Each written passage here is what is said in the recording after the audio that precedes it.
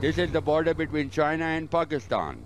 It cuts across the high road over Khunjerab Pass, situated over 5,000 meters above sea level. Once a part of the ancient Silk Route, this road will become a vital link for China to Gwadar port in Pakistan. It's being built with Chinese help to become part of the new maritime Silk Route. Here on the Pakistani side at Sust, Chinese trucks offload their goods at the dry port, destined for markets in Pakistan. The goods are inspected by custom officials and cleared after the payment of import duty. From here, the goods are loaded on Pakistani trucks and travel onwards to the rest of the country.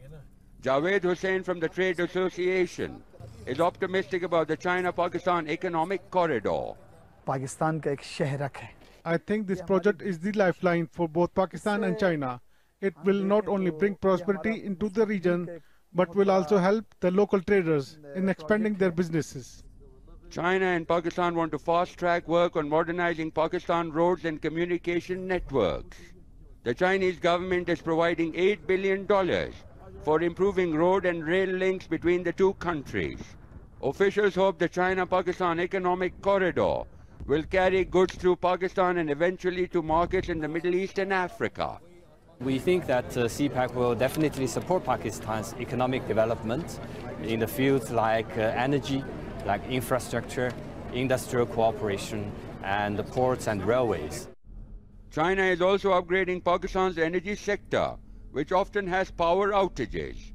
The China-Pakistan economic corridor will provide a shortcut for China to the warm waters of the Arabian Sea. For Pakistan, it will bring tens of billions of dollars and will be a game changer. Right now, China relies mainly on sea routes for trade, but by 2018 it wants to open a new shorter land route for commerce and trade through Pakistan. That will reduce travel time. This uh, investment will help uh, to uh, uh turn around not only Pakistan's economy, uh, but also it will enable Pakistan to become self-sufficient in energy and improve its infrastructure. Officials here say they want to make sure the new trade will be beneficial for their region. CPEC Pakistan ke liye ek game changer hai. Though CPEC is considered to be a game changer for Pakistan, but Gilgit-Baltistan, which is the only gateway to China, should not be left out for the better development of this tourist destination. But whatever the concerns, one thing is clear. Both countries want to make sure this project is completed Kamal Haider, Al Jazeera, Khunjerab on the Pak-China border.